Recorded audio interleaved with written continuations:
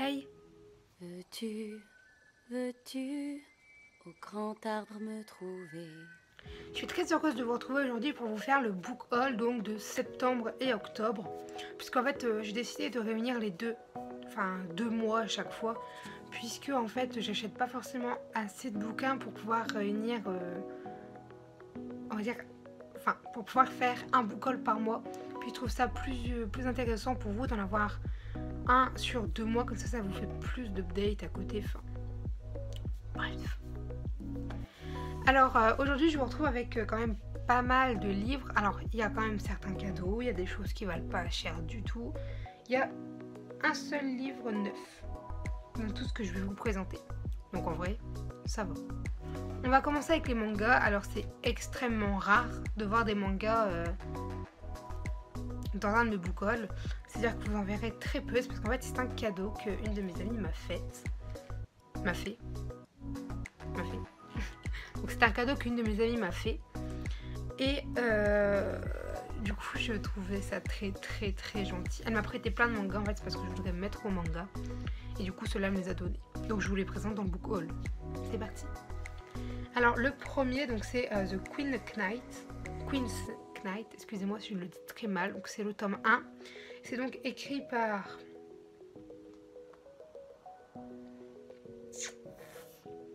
Je dirais par Kim Kang-won aux éditions Safira, mais je ne sais pas qui est l'illustrateur. Ou alors si ça se trouve l'illustrateur c'est Kim Kang-won. Ou alors c'est peut-être le... C'était un, un auteur illustrateur. Ce qui est également possible, hein. mais je n'en sais rien. Je suis nulle en manga. Alors je sais que c'est Kim Kang-won, c'est au moins l'auteur, puisqu'il y en a un petit mot de lui. Écoutez, je pense que c'est les deux, ou alors on n'a pas le nom du dessinateur. Voilà, et en fait, ça va aller extrêmement vite les mangas, puisque en fait, c'est toujours la même saga. Je sais juste que ça va parler un peu de voyage dans le temps. Euh... Vous savez quoi? Je vais vous lire le résumé qu'il y a derrière le premier tome du manga, et euh, comme ça. Yuna vit avec son père et ses trois frères aînés depuis que sa mère est partie travailler en Allemagne. Alors qu'elle lui rend visite, Yuna fait une chute près du château de... C'est pas très gentil ça. Hein. Neuschwanstein Excusez-moi, j'ai pas fait allemand ni rien en plus. Et se casse la jambe. Un bel inconnu vient la sauver. Il dit s'appeler Rien... Rieno. Rieno. Et est chevalier de Fantasma. Depuis, elle le voit dans ses rêves. Du coup, c'est vrai que ça avait l'air très bien et je les lirai. Alors, vu que je suis pas trop trop manga, c'est vrai que euh, je les lis assez vite, mais j'en lis pas beaucoup. Donc, euh, à voir quand est-ce qu'ils seront lus. Et du coup, avec, elle m'a donné euh, les 5 autres tomes. Donc, on a le, le 2. Excusez-moi pour le reflet. Le 3.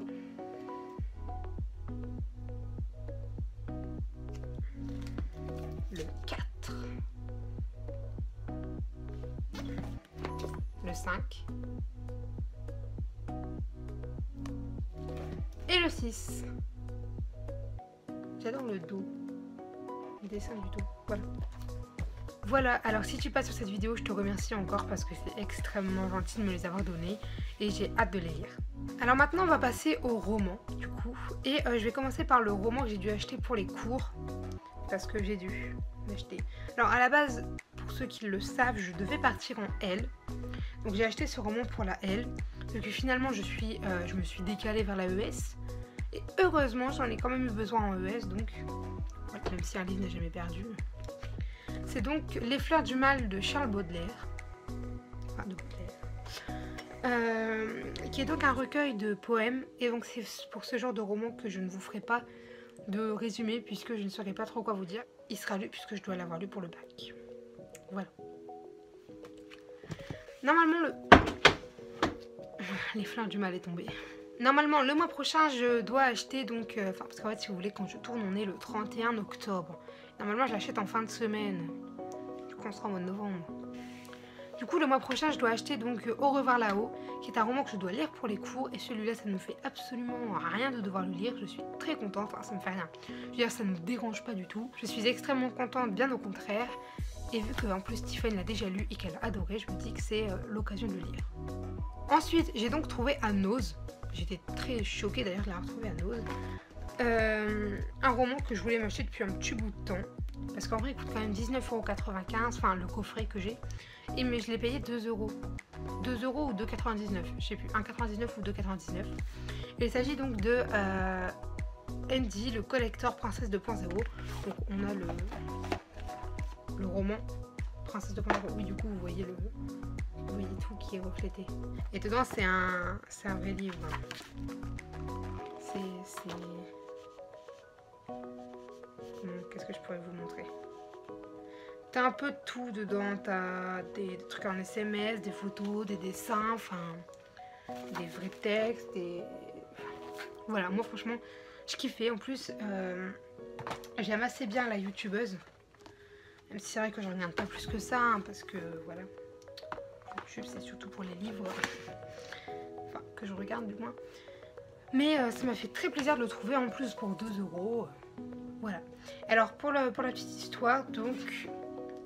euh, je vais vous lire le petit résumé. Je m'appelle Lindsay et j'ai 24 ans. On me dit pour trouver le prince charmant, il faudra déjà que je, que je me comporte comme une princesse. Excusez-moi, j'ai bugué.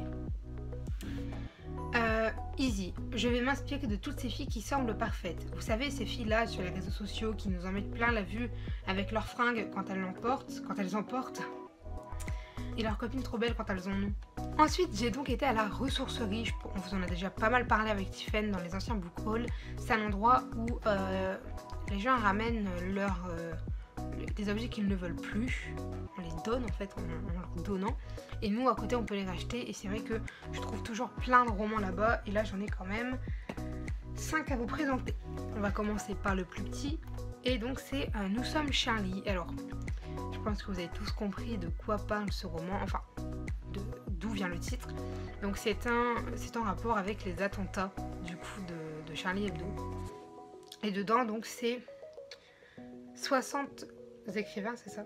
Oui, 60 écrivains euh, qui ont écrit chacun un petit texte, un petit texte, un petit paragraphe, bref, sur euh, justement euh, les attentats de Charlie Hebdo. Pour vous donner un exemple. Alors j'en lis quelques-uns, alors euh, j'en ai pas forcément lu beaucoup. hein. Voilà, vous voyez, là c'est des, des tout petits, mais il y en a des beaucoup plus grands. Il y en a qui font plusieurs pages. Enfin bref, voilà quoi, c'est. C'en est vraiment plein et certains sont assez quand même touchants, assez tristes. Euh, c'est vrai que je trouvais ça assez intéressant de voir le point de vue de 60 personnes, enfin le point de vue, ce qu'ils pouvaient en dire en fait. Je sais pas si je m'exprime bien, mais voilà. Donc toujours à la ressourcerie, j'ai trouvé un roman que euh, je veux lire, que j'ai en poche. Mais disons que j'aime bien avoir des grands formats, alors du coup quand je l'ai vu, euh, je me suis sauté dessus puisque pour ceux qui ne le savent pas, c'est ça que je vais vous dire. À la ressourcerie, c'est 1 euro le kilo de livres et c'est 1 kg acheté, 1 kg offert. En gros, ça, vient, ça revient à 1 euro les 2 kilos.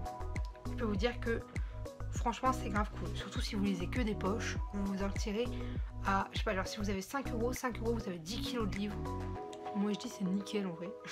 Et du coup, donc c'est Journal d'un vampire, le tome 1, écrit par L.G. Smith aux éditions. Achète. Ah, euh, je vous l'ai pas dit, ah, Nous sommes Charlie, c'est aux éditions Le Livre de Poche. Voilà, j'avais zappé. Et euh, oh là là, mais j'ai oublié de dire tout. Et euh, Princesse 2.0, c'est aux éditions euh, 404. De toute façon, vous avez tout en description. Je vous mets toujours tous les titres, etc., auteurs, machin, machin. Du coup, voilà. euh, c'est donc dans la collection Black Moon. Alors, euh, pour le résumé, je pense que euh, la plupart d'entre vous connaissent ce que c'est. Donc, c'est la, c'est la journal. C'est la série euh, Vampire Diaries. Et euh, je vais quand même vous lire le résumé. Allez, soyons fous. Dès l'arrivée de Stephen Salvatore à Falls Church, Elena, la reine du lycée, se jure de le séduire. D'abord distant, le garçon aux allures d'ange rebelle finit par céder à sa passion dévorante et lui révéler son terrible secret. Quelques siècles plus tôt, la femme qui l'aimait l'a transformé en vampire, avant de le trahir avec son frère ennemi démon. Les événements tragiques se succèdent bientôt dans la région. Tous accusent Stephen, mais Elena est convaincue de son innocence. Et si Damon, vampire cruel et assoiffé de sang, était derrière tout cela L'histoire est-elle amenée à se répéter? Alors vous, vous savez pas du tout pourquoi du coup l'histoire euh, se répéterait, mais si vous avez vu la série, vous le savez. Moi je l'ai pas fini. Bref, Le récit captivant de deux frères vampires déchirés par l'amour d'une même femme, un triangle amoureux d'une dangereuse sensualité. Non, moi en vrai ça me vend du rêve dès qu'il y a vampire, triangle amoureux, amour. Hmm. Donc en plus, pour ceux qui ont vu la série, l'acteur de Démon, je vous mets une petite photo là. Voilà. Rien à dire. Pour terminer, ce sont euh, trois romans pour lesquels je ne peux pas vous faire de résumé car ce ne sont euh, pas des tomes 1. Et je n'ai pas trouvé le tome 1 ni le tome 2. J'ai le tome 3, 4, 5, et pas autre chose. Donc je vous les montre quand même. Hein. Alors, le tome 3, donc de Tara, le tome 3 pardon, de Tara Duncan, écrit donc par Sophie Audin Mamicognon excusez-moi si je le prononce mal, aux éditions Flammarion. Et donc le tome 3, c'est donc le sceptre maudit. Donc pas le résumé sinon spoilé. Le tome 4, qui est donc le dragon Renégat. C'est ça, hein Renégat, pardon. Donc toujours avec la même hauteur, etc. Et enfin le tome 5, qui est donc le continent interdit. Voilà. J'ai Duncan, c'est une saga que je veux découvrir depuis très longtemps. Et quand j'ai vu ces trois-là, je les ai pris tous les trois. Je savais même pas en plus quel était le tome 1. Je savais que je l'avais pas, mais je me suis dit, euh, si c'est pas trop loin, moi ça évitera de les acheter. Heureusement, c'était pas le tome 12, hein. mais euh, du moins, on va dire que j'ai plus que le tome 1 et 2 à m'acheter. Et après, j'ai déjà les 5 premiers tomes. Ce qui est déjà vraiment cool. Alors voilà, j'en ai déjà fini de ce book haul qui était ma foi, assez raisonnable niveau euh, dépenses, on va dire. Puisque du coup, tout cela ne m'a pas coûté très très cher.